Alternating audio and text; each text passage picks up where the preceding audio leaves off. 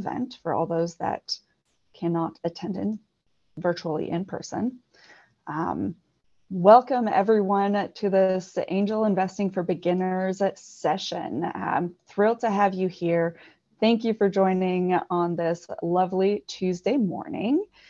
We have three great speakers and panelists here for you today. We will try and keep this very engaging of a conversation and engage all of you into it as much as we can, roping you in um, to ask your questions or add comments. This room is pretty diverse across the board as I'm seeing names. Some are new to me um, and others are very familiar. I encourage all of you to chat um, about yourself, whether you're an entrepreneur or an investor or just an interested party in the chat, and then a link to your business, to your LinkedIn, however you would want people to connect with you after the fact. Um, I'd like to recognize that I am uh, zooming in from Anchorage, uh, the lands of the Dena'ina people um, who have stewarded these lands for, gosh, thousands of years, um, and thanking them for that stewardship, past, present, and future. I'm Melanie Lucas Conwell. I manage the 49 State Angel Fund, which is a venture capital fund and public private partnership program hosted within the municipality of Anchorage.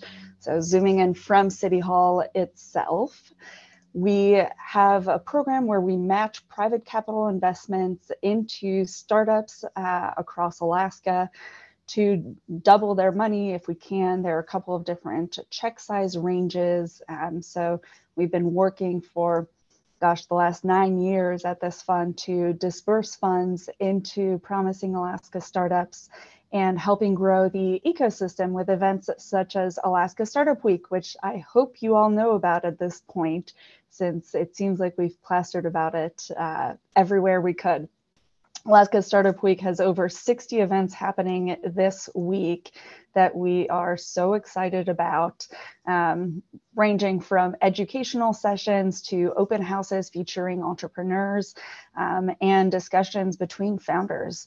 So I hope that you have all added some of those events to your schedules and calendars to make sure that you make the most of all these free events happening. And with that, I'll let our panelists introduce themselves. Um, Addie, do you want to kick us off? Sure can. Hi, I'm Adi Akufa Apple, uh, one of the heads of venture programming over at WeFunder. Uh, WeFunder is a regulation crowdfunding platform that's helped raise over 362 million to date for founders uh, from both their community as well as accredited investors. Uh, most people also know me as AAA, so we can go with that as well. Um, I'm currently calling or zooming in from the Austin, Texas area on the central lands of the Tongkulong. Um, and thank you all. Super excited to be here. Thank you, Addie. Anna, how about you? Good morning, everyone. My name is Anna. I am a business owner here in Alaska. Uh, we started a fossil fuel donuts company a few years ago. We do keto, vegan, paleo donuts. Uh, and in starting this business, I also had the opportunity to start investing in Alaska companies. And that's how I got uh, involved with the Alaska Angel Conference as a co-fund manager last year. And now working to get our next edition for 2022 uh, set up. Uh, super happy to be here and to help uh, however I can. Thank you, Anna. Ricky. Hello, everyone. My name is Ricky Tejapaibel. I'm the managing partner of Tech Wildcatters. We're a venture capital fund and startup accelerator program. We were founded in 2009 we are headquartered in Dallas, Texas, but I'm here this week in Anchorage, in the land of uh, Dena'ina. I'd like to uh, acknowledge the founders of this land as well. But I'll be here all week. So if anyone after this call wants to grab coffee, meet in person, then uh, happy to, to set up some time. But uh, yeah, I'd like to share our knowledge of what we work with the startups to help startups say what channels of funding are available for the startups and what investors are looking for as you go through each stage of the cycle of, of your startups. Thank you, Ricky. And so thrilled to have all three of these panelists. Um, as you have questions, please raise your Zoom hand and we will gladly help uh, unmute you and ask those questions live. Ask them in the chat. Let's make this an engaging session as much as possible. That's why we didn't make it a Zoom webinar, but rather a Zoom meeting so that we could see all of you and make this much more personal since uh, investments tend to be that way. So to kick us off, um, could each of you tell us a little bit more about the stage of companies that you invest in and um, the types of investors that you uh, try to attract within your funds? Um, and for Ricky specifically, perhaps you could give us a little bit of insights as to what a VC fund, what your investors are into the fund itself. Uh, yes. So whoever wants to unmute first, please go ahead. Yes, I can go first since I already hot button hit the unmute button. So we're a venture capital fund, and the way we do is we have investors that invest in our fund, and then we as fund managers then invest in startups. So we're similar to your shoes that we have to pitch to our investors that why is investing in a startup something that they should be doing? And why are we the experts the qualified people to help you find those investments? So investors in, in startups could be anywhere from angel investors and angels could do direct investments or they could invest in the fund. Could be family offices could be corporates that want exposure to startups could be pension funds could be fund of funds, sovereign funds. So if they look at it from a portfolio standpoint, that venture capital is an asset class that has a very long horizon because when you invest in a, in a, startup company from investment to exit, it could be anywhere from five years or even longer cycle but then the returns that they're expecting is also higher and it's illiquid meaning that if they invest today they can't just decide a month later i want to sell my investment. So it comes with this uh, illiquidity that they're in it for the long haul. But we're trying to educate them that hey if you invest in just one company it may sound like it's risky but if you invest in a portfolio of companies then the risk level actually goes down. And a lot of times it's, it's not as correlated with how the market moves because the stock market goes up and down every day every week with some external news. But when you're investing in startups, you get to find a good company with, with excellent founders, and you're in it for a long haul, so you're less uh, prone to those uh, short-term market movements.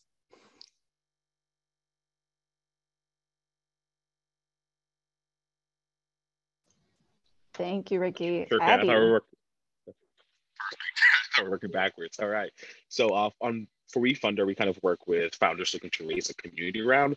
So usually it's individuals who are either looking to start their pre-seed round, uh, friends and family. Basically, if you're able to raise a, if you're looking at raising a portion of it, and already have soft commitments from friends and family, most likely coming onto our platform may 2x to 3x the investment volume going towards your company, right? So it's usually for individuals who've already spoken with angels, already spoken with their family members looking to raise uh, a significant small, like, or significant or small round and then from there coming onto our platform, allowing our user base of around 1.3 billion users to also co-invest alongside them.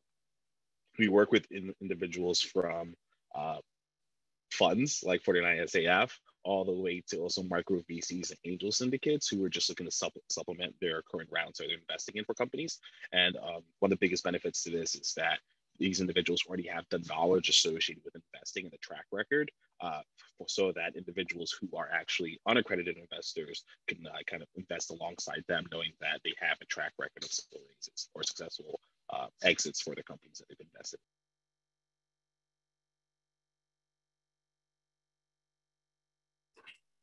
Hi, everybody. Uh, so for the Angel Conference, uh, we invest in Alaska companies. Um, in the previous issues, uh, in the previous editions, we invested in Alaska companies. Um, some of them had already revenue, so we can do like a revenue redemption model or notes.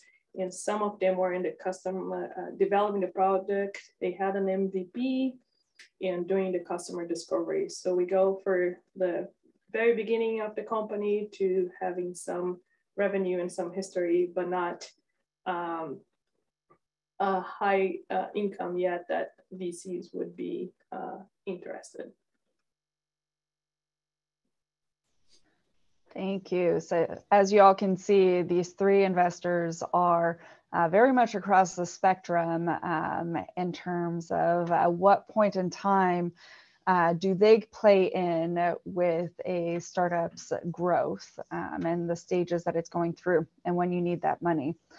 Um, following up with that, how do you each recruit startups and let them know that you are open and ready for business and writing checks?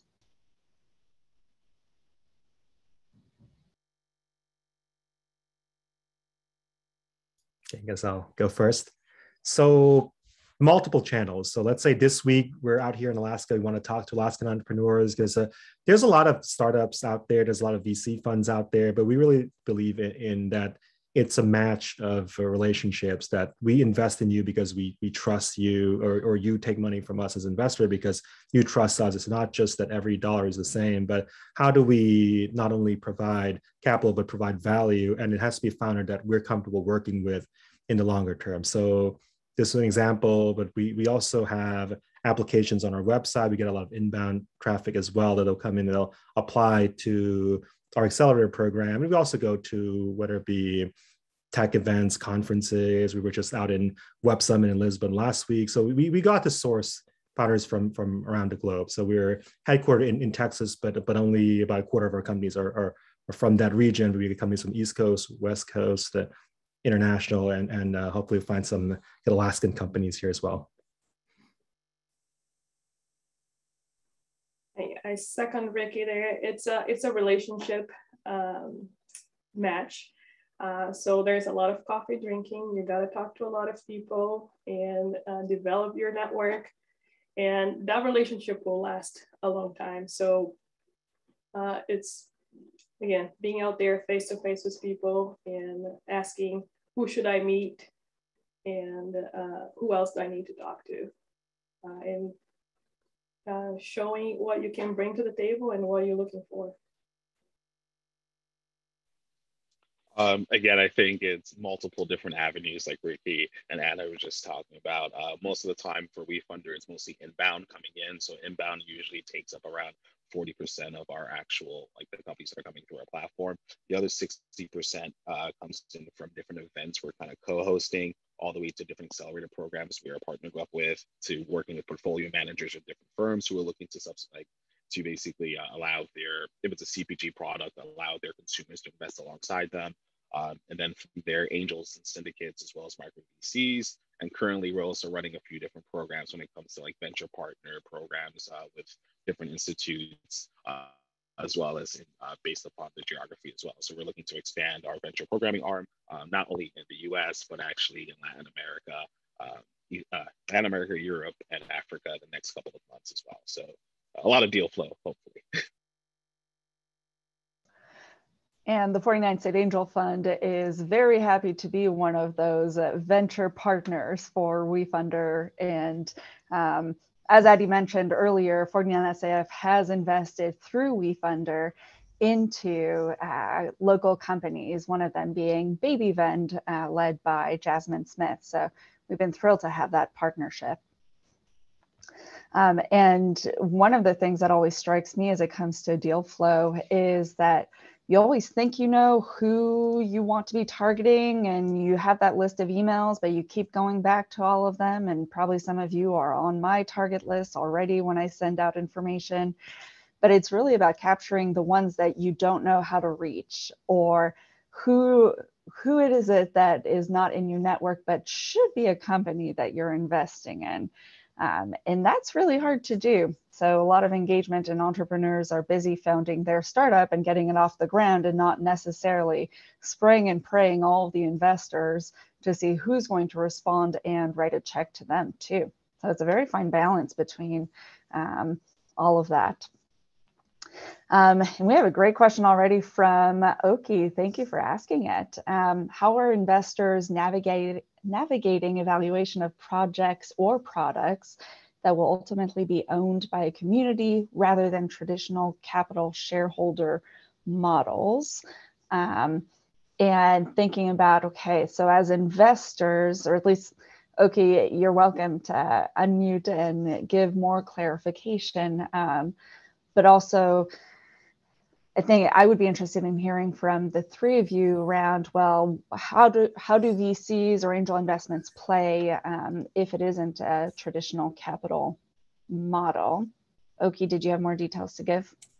Yeah, so I guess the the reason this question is coming is um, in the in the space that I hang out, there's already the ability to kind of collect a form of capital from users, but what we're realizing is we're needing to almost create tools immediately that aren't necessarily part of like a final end product, but they build onto a product roadmap.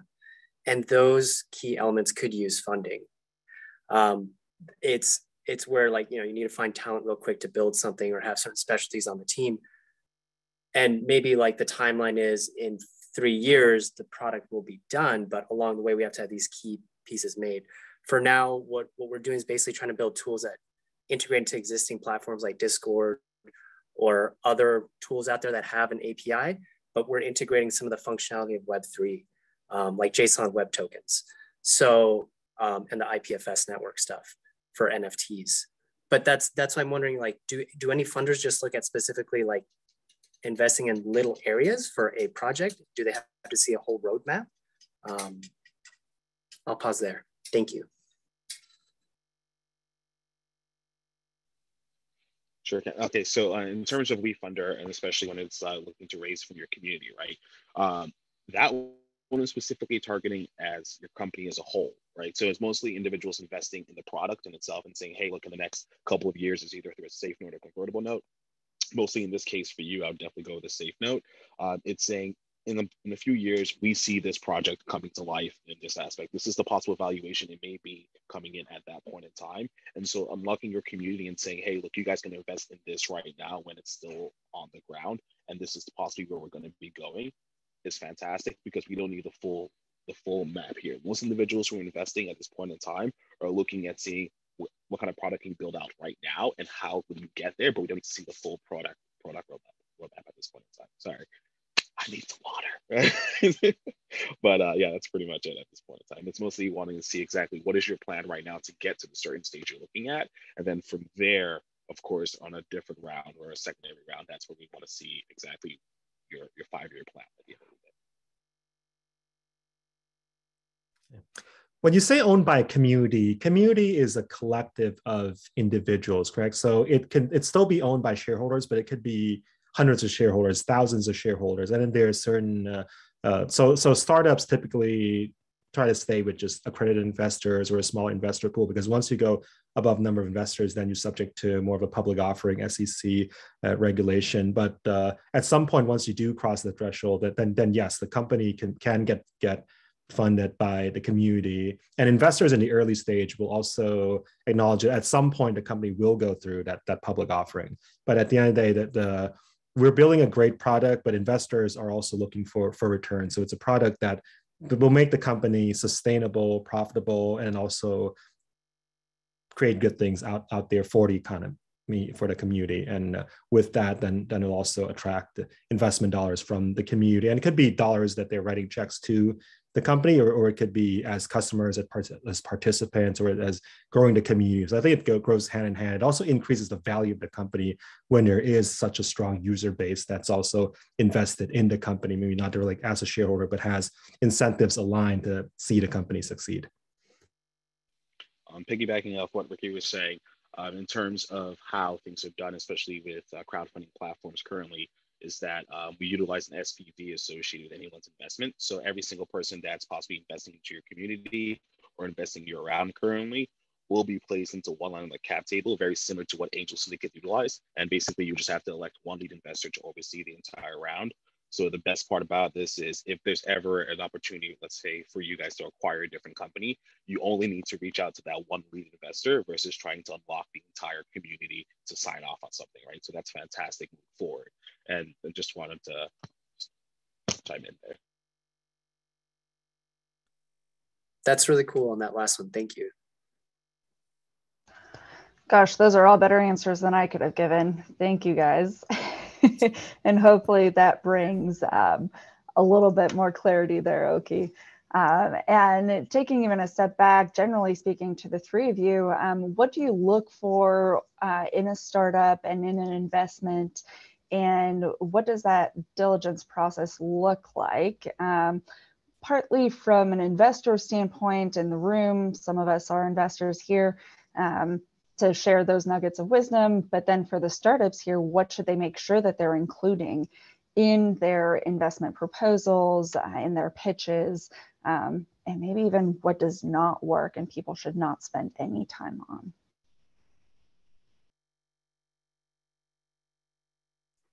For me, one of the, the first things I look at a company is the team. Um, the individuals working, how their relationship with more than one owner, their relationship, and how I can uh, relate to them. Uh, if there is, um, if we speak the same language, uh, if uh, the values are aligned, uh, and beyond the team is the, the for me is the customer discovery. Have they doing their mark their market research? Um, have they found out who their who their target is? Uh, as as the company develops, you have a target uh, market more uh, narrow and narrow, so you can tell the age of the customer, the gender, uh, where they live, and all of that in the beginning, that's very hard to do because it's an expensive process. But having the basis forward for that is, is for me, the, the first and most important.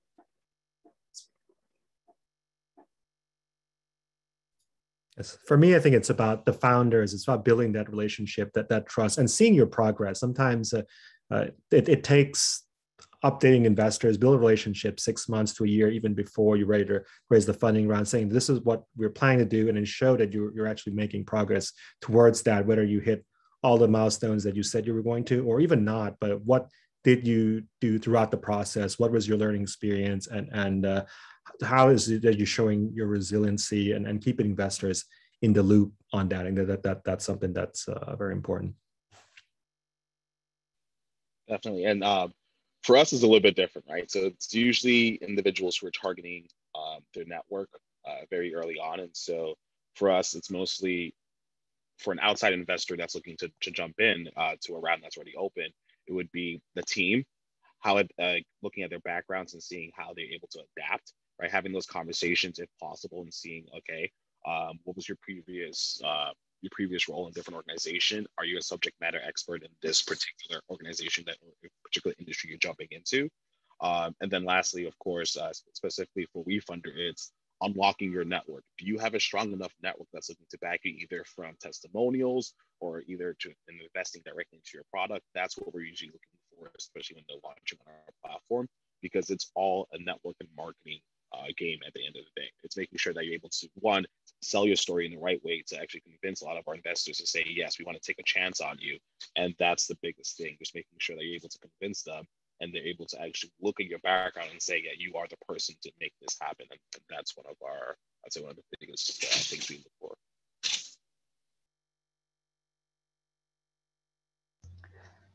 And looking at the flip side, what what startups have you seen do something that you thought might actually hurt their pitch and their investment capabilities? I feel like we all have a story of, oh gosh, this person did this one thing and they really shouldn't have. What has that looked like without naming any names? I think it's about being truthful to your investors, being truthful to your audience that this is where you're at now. This is what why we see the opportunity. But investors, because investors sees hundreds or thousands of pitches all the time, and if you're making stuff up, you're claiming things that that you can't really back it up, then they'll see through it. And then once you lose credibility on one thing, then you, your the entire the rest of your pitch then pretty much goes down the drain. Because then, then what else can I trust? So I think that that's uh, that's something that that's important. Show that, that that you're genuine and and you're differentiating, and you're not just trying to to copy what another company's doing or, or something, but but show that that why are you unique? Why are you the best in the world in, in what you do? And, and we don't have the entire full resources for everything, but but what areas that we need help with. And it, you can, if you can identify those things, it goes a long way that, that you self-evaluate that what can I keep doing to continue to improve.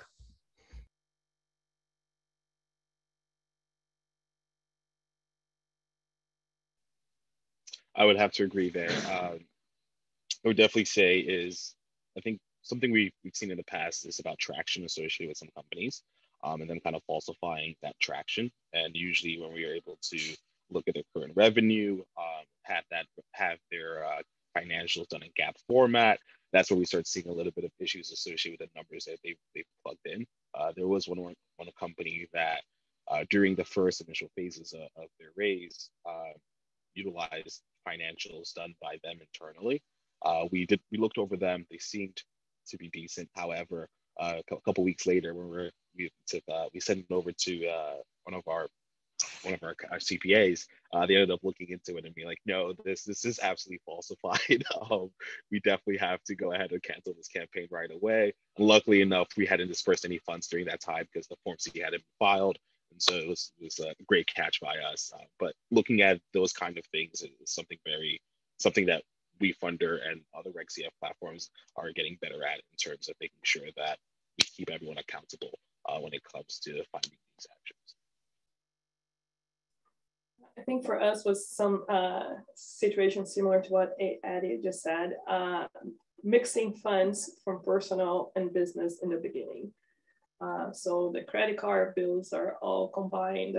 Uh, the the accounts are combined, so you can't tell what's business, what's home mortgage, and it was really hard to tell where the business war, uh, was financially because it was person and business. I know uh, when you're starting your business, you're doing everything, but your personal finances and your business finances have to be uh, separated.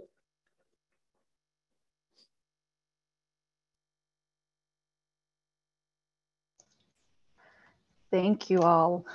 Um, and let's see, we have a question from Brad Pizzamenti. If Brad, do you want to unmute and ask it around traction and capital? Yeah, sure. Um, so I'm trying to get clear about, um, you know, precisely what the relationship you all see is um, between investment in a company and uh, furthering where that company's at, obviously, when we're talking about pre-revenue startups. Um, I, have always been told that money is more of an accelerant than a resource itself. Um, throwing money at a company won't get you traction. It will just speed up the processes that that, that team is executing on. And I guess I'm curious, what other what other resources you look for to make sure that uh, that money is accelerating the right things? Thanks. So I think it's about proving each part of your business cycle, each part of your business model, and each investor they'll have the different investment thesis invest the, in at different stages. So let's say a Series A investor want to see certain things, and then they're looking to scale at, at, at let's say you prove it in one market, or now let's go after ten other markets. If it's a seed investor, then or you've proved some level that, or you have an MVP, you're still building your product, but but you've you've also proven that that at least it de-risks a lot of the, the things from from early on. So it really depends on traction you're looking for. If, if it's an accelerator, like like so for us, we have the accelerator, we also have the the later stage. But let's say for accelerator, we we we, we wouldn't say that any business model, oh, you're too early, come back with us with some numbers. But it's about how do we help you get to those revenue numbers that that a seed investor would then find attractive. And the rule of thumb would be, let's say, a million dollars in annual recurring revenue ARR, or even you're not a million yet, but you have the strong pipeline that you're growing at that this much month over month that you will get to that million dollars within a year. And, and that's something that, that you can start teeing up. And our seed investors will see you as, all right, you're having meaningful revenue numbers with, with, with traction. And so revenue paying customers, that's the best traction. But in some business models, then it may not be paying customers. But if you have 100,000 users, you have a million users, then it, they may not pay you directly, but maybe it's a two-sided marketplace that another customer on, on the B2B side might be paying because they want access to your users. So by showing some of these meaningful numbers, I think that that goes a long way.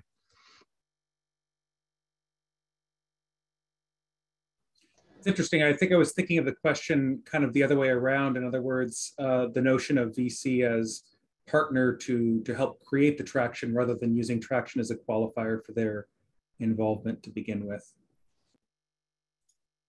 Yes. So traction from a customer standpoint is one thing, but the the VC may be looking at, and, and that's if it's, it's a VC that's an earlier stage that, that we're willing to come in at pre-revenue or pre certain revenue numbers. But we still want to see from a product standpoint or from, from a business competitive advantage standpoint that what are you building and how we can help you build that but you have to have something that that you've shown progress so let's say if you're very early at napkin idea then then for the accelerator portion yes you may be a good fit for that it will still take you longer though to get to that that seed round or, or to show outside investors that that want to see more traction but there, there will be investors or, or angels that are willing to work with you even early on because they believe in your vision. They believe in in your background what you differentiate what's your competitive advantage even you haven't actually built it yet but they can only help you so much. They can only invest a small amount of capital. They can only contribute to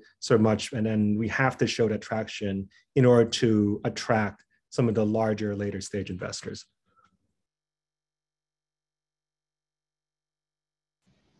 And to add on to that, um, expanding the question a little bit more, investors are there to see these companies grow. Early stage angel investors family and friends are all there to support you and it's not just about the money. Of course money is very important as we all know um, but it does those connections that mentorship and oftentimes if if you don't have both a technical and a business background in your company, advisors can help plug in those gaps uh, in knowledge and help direct you. Um, at the later stages of the company, it can be very much about connecting you with potential customers and other business partners that would help you grow or even recruit and hire folks for your company. All that, well, to some extent, the investors want their return. So, whatever will make their investment more valuable and increase their returns is really at the end of it, um, but really to see you be successful. Um, we've also gotten some question. Oh, go ahead, Addie. Oh, sure. uh, so for us, uh, it's mostly um, some of the companies that usually come on, especially if it's a napkin-based idea. We've had a few different napkin ideas where it's a digital wallet coming on. Uh, the founder knew the founder only knows, knows about crypto. However, they weren't a technical founder, but they were able to raise 750,000 due to the fact that one, they had a large network because again, they were a YouTube star talking about crypto. They were able to bring bring their YouTube following over to the investment side and actually invest into the products. And then from there, they ended up hiring a team as they kept on developing, as they were continuously raising.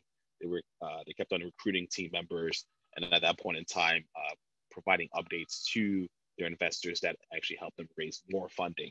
Um, for pre-seed, we usually look at traction, LOIs, your current team, and your advisors. And then for a seed stage, is mostly uh, a lot of a level of pre-seed was, but also looking at like kind of the prestigious points. What acceleration have you gotten into?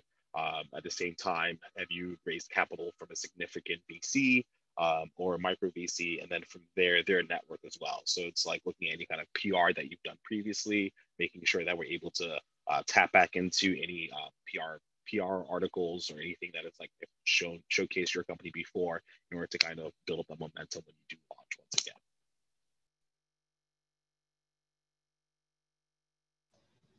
That's awesome. Great. Um, we got a couple more questions around um, what is a lead investor? What is the difference between a lead and a follow-on investor? What are the risks perhaps associated with both of those roles and um, how to think about it both from a founder perspective but also from a potential investor perspective too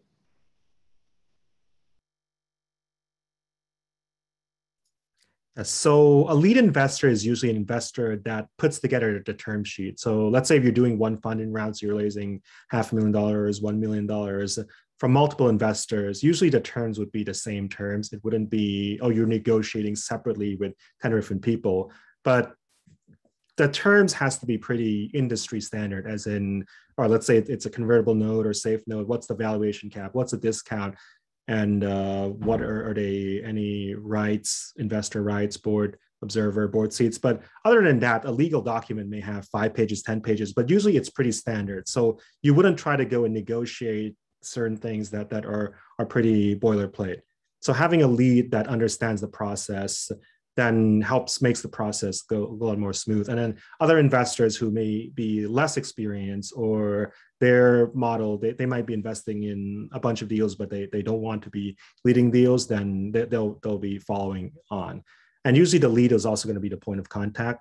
So that with that, and then they, they may be connecting with, with other investors or sometimes if there's a board seat or board observer seat, then the lead usually will be the person that represents those investor group as, as taking a board seat. The lead typically takes a larger position in the round, but it doesn't have to be that, oh, they're the largest. Sometimes there's a, investors that may have a larger check size, they may have a large position, but they say they, they don't want to lead the round because the, of the administrative work or they're positive we don't want to take a board seat. But another investors might be a slightly smaller check, might be taking that board or board observer seat or want to be more hands-on. Tag along to answer Liam question here. He was asking about stay plugged in the in the deal flow. Tag along with the lead.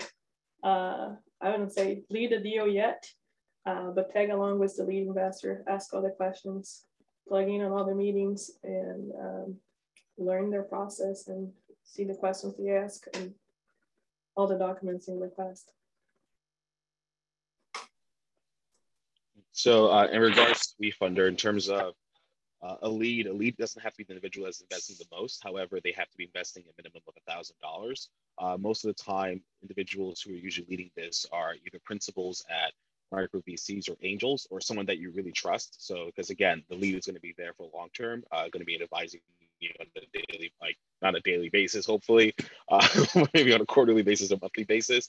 You want to make sure that they agree upon your vision associated with the company. And so, most of the time with Wefunder, it's usually not the person writing the largest check, but just a, a minimum of a thousand dollars because you want that person to basically one think of uh, think of the company first and then from there make sure that you know they're not trying to position your company in a way that you don't want it to right? So making sure that you guys both have the same vision in mind when you first when you're asking them to be in that position because at the end of the day they also receive the pro rata rights associated with the round.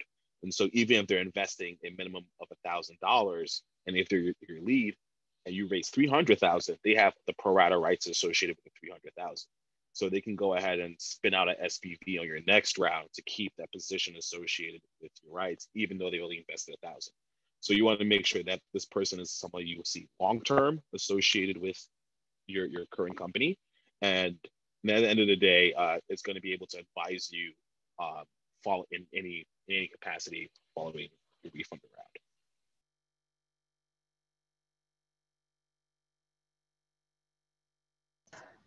Thank you. Um, and hopefully that clarified some of the questions around lead investors and what their role is in all of this. And um, for 49SF, for example, we are follow-on investments only. So we won't lead the rounds. Um, the staff is myself and I have Matthew Robinson, who's also on this call, helping me out. Uh, we're a very lean staff, but we certainly want to be making as many deals as possible. We just don't have the staff and resources to negotiate the deals uh, first and foremost.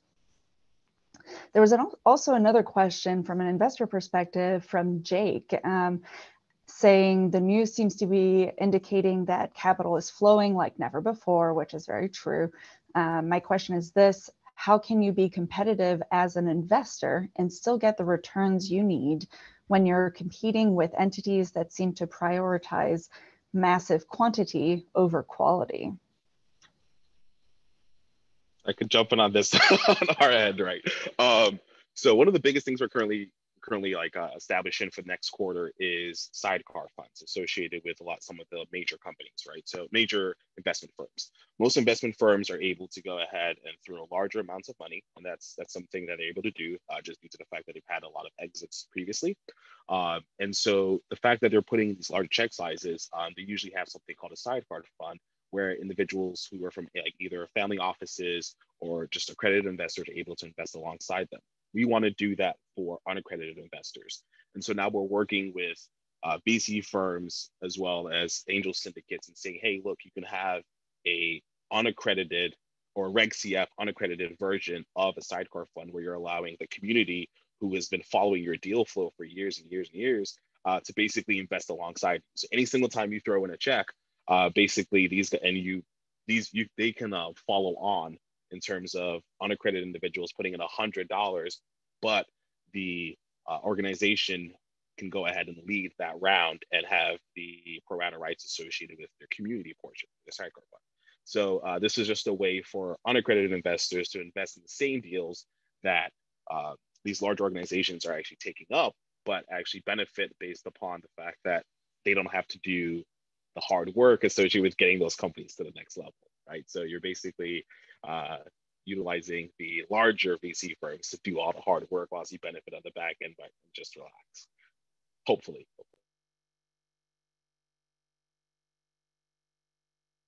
Yes, uh, for us, it's about quality over quantity. So we want to find the right founders, the right company, and also at a reasonable valuation as well. So if there's if we're competing deal with other different VC firms, we're not going to win because we're giving you the highest valuation, we're giving you the most money. But if we're going to win, it's because uh, we're gonna we can convince the founders that we're going to be adding most value that that we're the best partners for you in the long term standpoint. So we we will give term sheets that's competitive that, that but but we're not going to over bid just because that's the market conditions and for the founders as well that that you want to look at that that is it the most important that you get the strongest term sheet or the strongest partnership somebody who has your back as, as an investor that, that your incentives are, are aligned as investor with the, the founders in a longer term perspective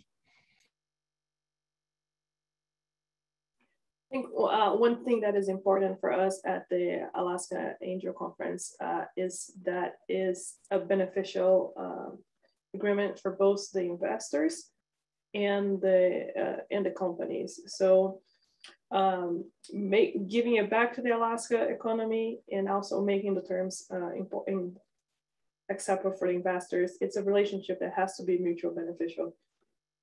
We we want uh, make a deal that will disincentivize the, the founders to work on their company. So we need to, them, we always uh, look to give those um, terms that will keep the, the founders engaged and um, have the ownership on their company.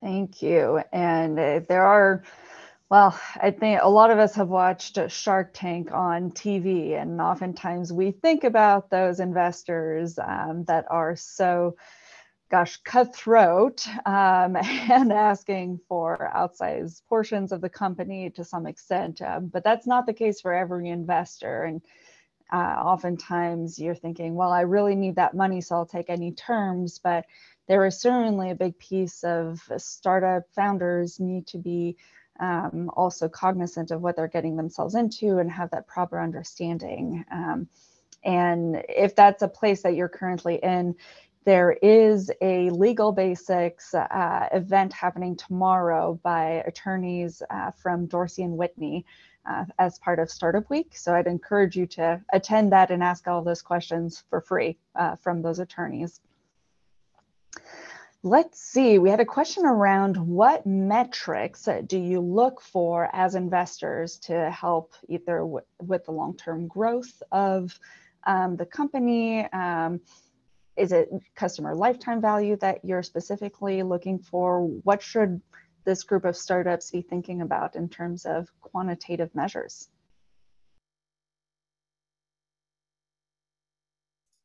So I think there's multiple measures out there. There's a revenue, but it's also what's the quality of the revenue, what's the margins, what's the customer acquisition cost. Are you paying to acquire revenue that that's uh, going to be value added for, for your company in the long term, or, or are you doing it to grow your user base, which some companies do that the early on the economies of scale may not be there, but you have to be able to prove that at some point it's going to be a sustainable, profitable business. And you have to show the milestones that that because let's say a seed investor will will look at what an A investor will look at how can we help this company get to the Series A. The, the A investor will look how we get the company to the, the Series B. So they'll look at all these metrics and then the growth metrics. Is it going to grow fast enough to be a venture backed business? Then then uh, will be attracted to VC funds or is it a small business which is fine too the, the investor may just be a different type of investor it, it might be a more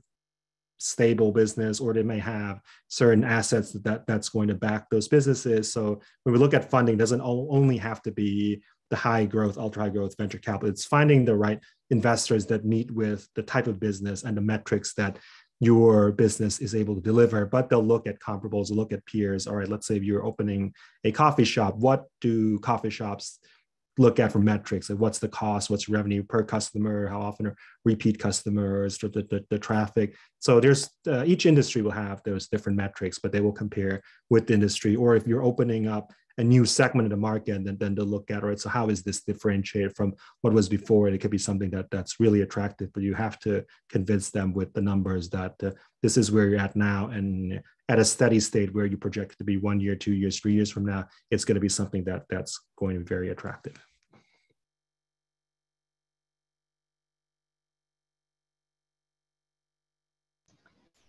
Thank you. And I'll also answer uh, Oki's question um, in the uh, chat about um, additional metrics and portfolio investments that are much more impact inclined. Um, there's a movement and a commitment about due diligence 2.0 that I've been keeping an eye on uh, that looks at triple bottom line metrics and analytics uh, from an investor standpoint. And I'll add the link in the chat, um, but that's been something that's been interesting to see how do you incorporate ESG metrics into um, your investments, both as a startup and as a funder. Um, and ESG, ESG standing for environmental, social, and governance metrics. Let's see, I think uh, there was a question from Magpie, which I'm not sure if that's your first name or your business's name, um, about investors investing in companies that are much more community spaces. So theaters, cafes, events, production spaces, um, and they're dialing in from Valdez, Alaska. Um, think the answer is yes. Uh, Ricky uh, answered that a little bit of, well, there are all types of investors out there and they might all be looking for different deal types and types of returns too. Um, and it's just finding that making that matchmaking between the investor and the founder uh, to make sure that it is mutually beneficial in the long run and that we stay away from Shark Tank type investments.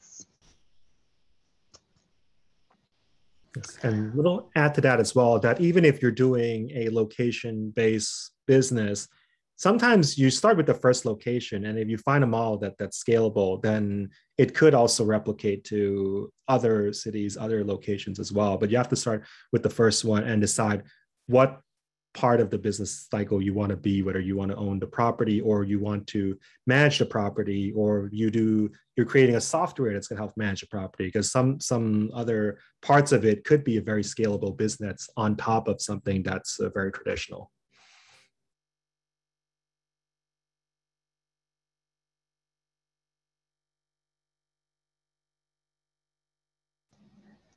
Did you want to add anything, Magpie, uh, around this? Oh, no, it's just good to hear that because in um, this startup week so far, I've just heard a lot of tech conversation, and I'm kind of the only one involved in the arts and community based event stuff. So, um, but yeah, I, I, have heard that scalable comment. So thank you for um, adding to that. You're you're right. We do need a few platforms designed.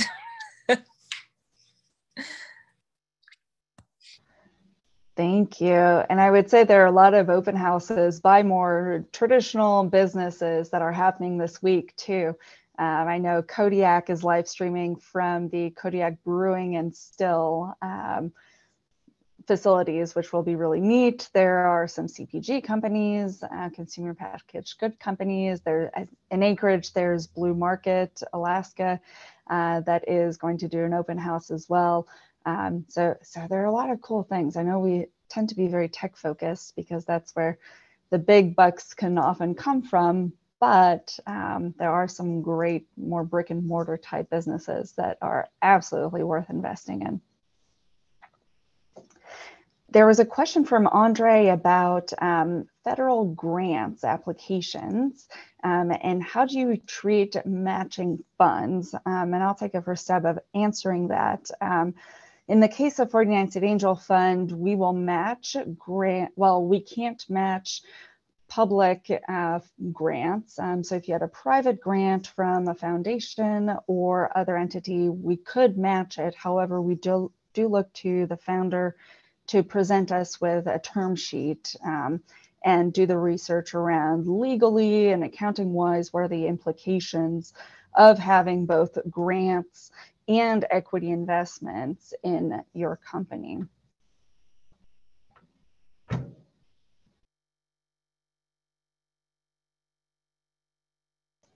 How do the three of our panelists view grants as part of your investment process?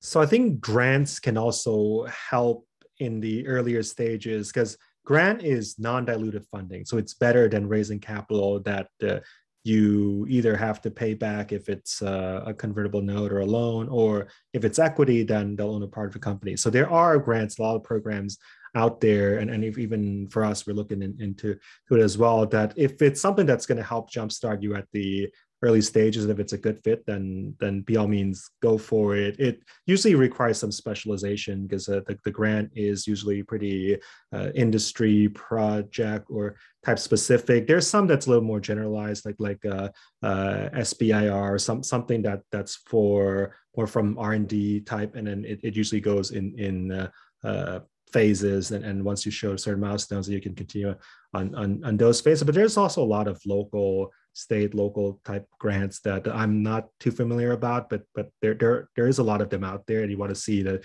that if it's pretty low hanging fruit that, that you can get usually the dollar amount is not huge but if it's something that as a from a, a smaller company then it's it still helps that, that you want to be diligent with your capital if it's something that, that can help you early on. And sometimes it also builds credibility. It's not only the dollar amount, but builds credibility that, hey, we got this grant, we got vetted by these uh, agencies. And, and with that, then it may open more doors to, to customers or other funding later down the road.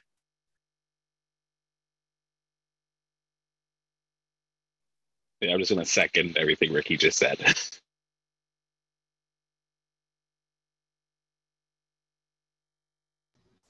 Terrific. Thank you. Brad. Hey there. I'm curious if uh, you all can touch on notions of ownership, at least where it touches VC. Um, uh, we're in the process of structuring our bylaws around a steward ownership model, and um, that is going to likely preclude any kind of traditional exit. And I just wonder if that also takes traditional VC off the table. Thanks.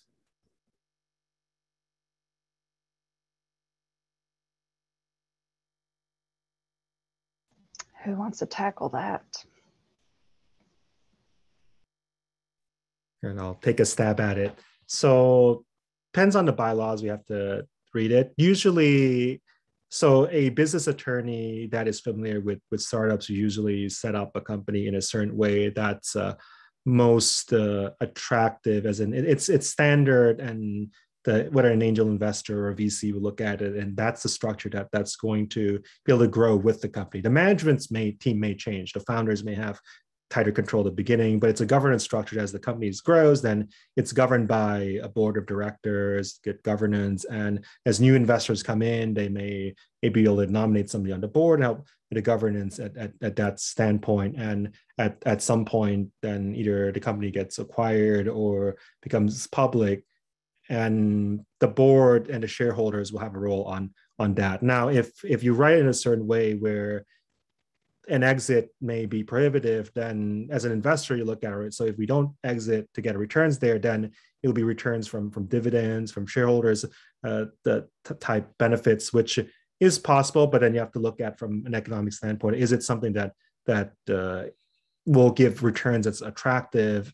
And for most investors, they may not have the flexibility to do that because the, there's other deals out there that they're also comparing with. So the more restrictions you put in there, then you have to compensate with either more, much more favorable terms. So instead of they they want five percent of the company, like I want 25 percent of the company because I I need more control because I won't be able to sell. Or there's certain things that will compensate. So at the end of the day, you have to decide is it worth it from having that level of extra restrictions there or is there other ways of governance that you can still have good governance and investor wouldn't feel too restrictive while you can still get to to push your your vision, get to push your mandate to a much later stage with with the right team of directors, right governance team that's going to help you push it to that. And and uh, it's not only about the, the type of control, but it's about can you bring in vision because you can't grow a company alone. How, how do you bring in the right people that share that vision and, and try to bring it as far as you can?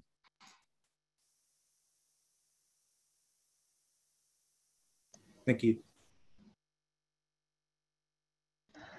Great. What great questions coming from everyone. Um, with three minutes left in this event, and I know that there's, gosh, another funding related event that is about to start um, as part of Alaska Startup Week. There's another one around growing entrepreneurship during the pandemic and a LinkedIn marketing event that are happening in three minutes. So there's a jammed packed schedule. I don't know which one you'll all select to go to, um, but I want to give a big round of applause, virtual applause for our panelists for asking, for answering all the great questions and for all of you who asked those questions and attended um, and had took the time out of your day to participate here because gosh, this was a great conversation. Um, Addie, Anna, and Ricky, if you would kindly add any follow-up links or contact information in the chat for folks to reach out to you, however you'd like to be contacted, that would be lovely. Gordon, you read my mind.